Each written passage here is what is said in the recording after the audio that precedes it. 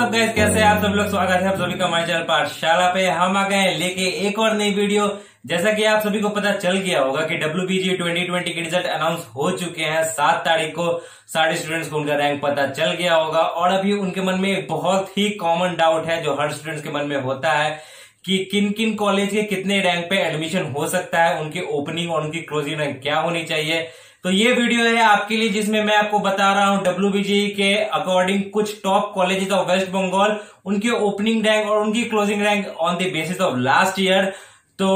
बिना कोई देर के चलते सीधा वीडियो के अंदर, चलिए शुरू करते हैं। तो जैसा कि मैंने कहा, मैं बताने वाला हूँ डब्ल्यू के अंदर आने वाले कुछ बढ़िया कॉलेजेस के कट ऑफ़ की, कितनी उनकी ओपनिंग रैंक है, कितनी क्लोजिंग रैंक है। ये काफ़ी ज़्यादा इंपॉर्टेंट है जानना, क्योंकि ज़्यादातर क्या होता है कभी कभी स्टूडेंट जब काउंसलिंग करवाने के लिए जाते हैं डब्ल्यू का तो जब उनको चॉइस फिलिंग करना रहता है तो वो उल्टा पुल्टा कॉलेज देते हैं, क्योंकि उनको पता नहीं रहता है कि इस कॉलेज की रैंक के हिसाब से मुझे यहाँ एडमिशन मिल सकता है या नहीं मिल सकता है। तो वो हो सकता है कोई कॉलेज को ऊपर दे देते हैं, कोई कॉलेज को नीचे देते हैं, जिसके वजह से उनका पूरा चॉइस फिलिंग खराब हो जाता है। तो ये सब प्रॉब्लम से बचने के लिए मैं आपको श्योर एंड शॉर्ट पूरा कट ऑफ़ बता रहा हूँ लास्ट ईयर के बेसिस पे, किस कॉलेज का कितना कट ऑफ़ गया था, ताकि आप आराम से और बिना कोई दिक्कत के अपनी चॉइस फिलिंग कर सके।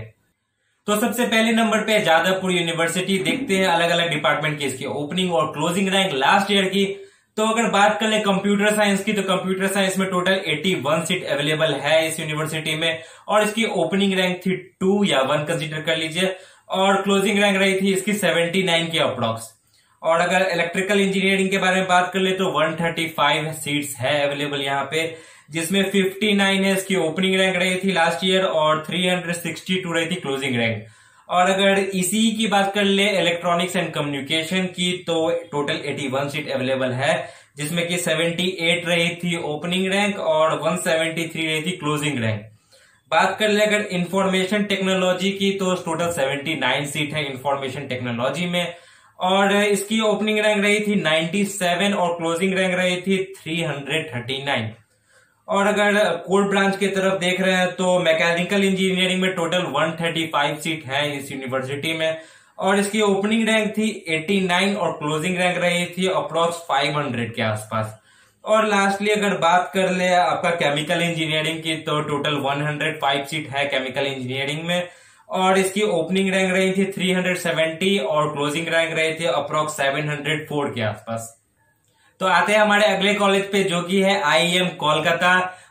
तो बात कर ले अगर कंप्यूटर साइंस की तो टोटल 171 सीट है इस कॉलेज में कंप्यूटर साइंस के लिए। और ओपनिंग रैंक रही थी 512 कंप्यूटर साइंस वालों के लिए और क्लोजिंग रैंक रही थी 1971 कंप्यूटर साइंस पे इतनी सीट्स फुल हो चुकी थी लास्ट ईयर के रैंक के हिसाब से। और अगर इंफॉर्मेशन टेक्नोलॉजी आईटी की बात कर ले तो 114 सीट अवेलेबल है टोटल जिसमें कि 1557 से ओपनिंग रैंक शुरू हुई थी और क्लोजिंग रैंक है इसकी 3454 पे बंद हो गई थी पूरी काउंसलिंग और अगर बात कर ले ईसी की इलेक्ट्रॉनिक्स और कम्युनिकेशन की तो टोटल 171 सीट है यहाँ अवेलेबल जिसमें से ओपनिंग रैंक रही थी 1303 और क्लोजिंग रैंक रही थी 3677 और अगर इलेक्ट्रिकल इंजीनियरिंग की देख ले तो 114 सीट टोटल अवेलेबल है, जिसमें से ओपनिंग रैंक रही थी 1757 और क्लोजिंग रैंक रही थी 5448 और लास्टली बात कर ले मैकेनिकल इंजीनियरिंग की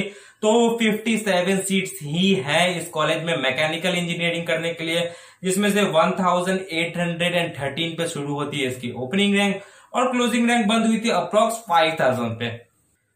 तो अभी जो प्राइवेट कॉलेजेस आने वाले जिनके बारे में मैं आपको बताने वाला हूँ, मैं सारे डिपार्टमेंट की ओपनिंग और क्लोजिंग रैंक नहीं बता रहा हूँ, बस उन डिपार्टमेंट की बता रही हूँ जहाँ की प्लेसमेंट लगती है वहाँ से। वहाँ अच्छे रैंक लाने पे आपको जॉब मिल सकती है और जहाँ कंपनीज़ आती है, जो कंपनीज़ विज़िट करती है उस डिपार्टमेंट के लिए तो वो सब उनकी क्लोजिंग और ओपनिंग रैंक मैं आपको बता रहा हूँ। तो अगर देख लिया बात हेरिटेज की तो हेरिटेज इंस्टीट्यूट ऑफ़ टेक्नोलॉजी की कंप्यूटर साइंस में टोटल 171 सीट्स है, जहाँ उनकी ओपनिंग रैंक रही थी 803 और क्लोजिंग रैंक रही थी 3000 के आसपास लास्ट ईयर की। और अगर इलेक्ट्रिकल इंजीनियरिंग की बात करें तो 57 सीट्स ही है अवेलेबल और जिसमें कि क्लोजिंग रैंक रही थी, वहाँ की 5971 पे क्लोज हो चुका था इलेक्ट्रिकल इंजीनियरिंग और अगर इसी की बात कर ले इलेक्ट्रॉनिक्स एंड कम्युनिकेशन की तो सेवेंटी वन सीट्स है, इसमें भी काफ़ी सीट्स हैं हेरिटेज में। और इसकी भी क्लोजिंग रैंक की अगर सिर्फ़ बात करते जाए तो five thousand two hundred eighty two पे भी ये बंद हो चुका था। और अगर इंफॉर्मेशन टेक्नोलॉजी की बात कर ले तो सिर्फ़ 57 सीट्स ही अवेलेबल है इंफॉर्मेशन टेक्नोलॉजी की, जिसमें कि इसकी ओपनिंग रैंक थी 3200 और 89 और क्लोजिंग रैंक रही थी 4241 यहाँ पे इंफॉर्मेशन टेक्नोलॉजी की सीट्स फुल हो चुकी थी। और लास्टली अगर मैं बात कर लू कोर डिपार्टमेंट में सिविल की तो सिविल की क्लोजिंग रैंक थी 9000 और अगर मैं मैकेनिकल इंजीनियरिंग की बात कर लू तो मैकेनिकल इंजीनियरिंग की क्लोजिंग रैंक थी अप्रोक्स सेवन थाउज़ेंड के आसपास। तो बढ़ते हैं अगले कॉलेज की तरफ़, जो कि है Techno India Main Salt Lake में। तो अगर बात करें कंप्यूटर साइंस की तो 114 सीट्स है टोटल कंप्यूटर साइंस में जहाँ पे इसकी रही थी क्लोजिंग रैंक की बात कर ले तो 4805 पे। बंद हो गई थी कंप्यूटर साइंस के लिए काउंसलिंग, और अगर इलेक्ट्रॉनिक्स एंड कम्युनिकेशन ईसीई की बात कर ले तो वहाँ पे 7499 अप्रोक्स 7500 पे बंद हो गई थी काउंसलिंग ईसीई के लिए। और आईटी इंफॉर्मेशन टेक्नोलॉजी की बात कर ले तो 6945 पे ही बंद हो गई थी इंफॉर्मेशन टेक्नोलॉजी के लिए काउंसलिंग के लिए। तो अगर बात कर ले कुछ कोर डिपार्टमेंट की, जैसे इलेक्ट्रिकल सिविल और मैकेनिकल तो इलेक्ट्रिकल की क्लोजिंग रैंक रही थी यहाँ पे टेन थाउज़ेंड मैकेनिकल की यहाँ पे क्लोजिंग रैंक रही थी eleven thousand five hundred eighty और लास्टली सिविल इंजीनियरिंग की यहाँ पे क्लोजिंग रैंक थी fourteen thousand five hundred and two तो बढ़ते हैं हमारे अगले कॉलेज की तरफ़ जो कि है NSEC Netaji Subhash Engineering College अगर बात कर ले सीधे इसकी डिपार्टमेंट और कट ऑफ़ की तो कंप्यूटर साइंस की तरफ़ देखें तो 114 सीट्स अवेलेबल थी लास्ट ईयर जिसमें की कट ऑफ़ गई थी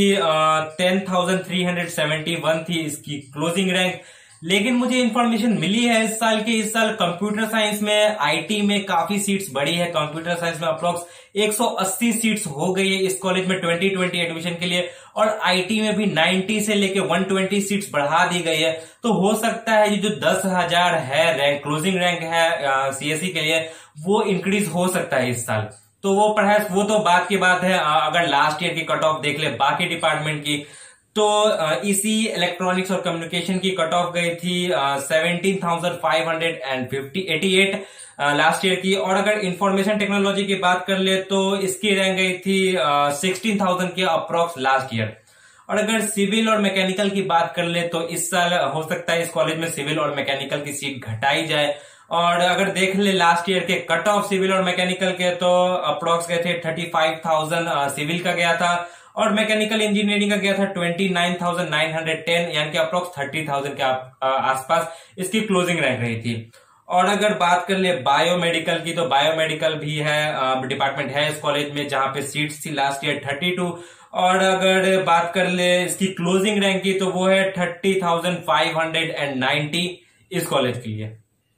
तो बढ़ते हैं हमारे अगले कॉलेज की तरफ़, जो कि हल्दिया इंस्टीट्यूट ऑफ़ टेक्नोलॉजी तो अगर सीएससी की बात कर ले तो सीएससी में टोटल सीट्स थी 114 और इसकी क्लोजिंग रैंक थी अप्रोक्स 5436 के आसपास। और अगर इसी की बात करें इलेक्ट्रॉनिक्स और कम्युनिकेशन की तो इसकी रैंक गई थी 8858 पे गई थी इसकी क्लोजिंग रैंक और साथ ही अगर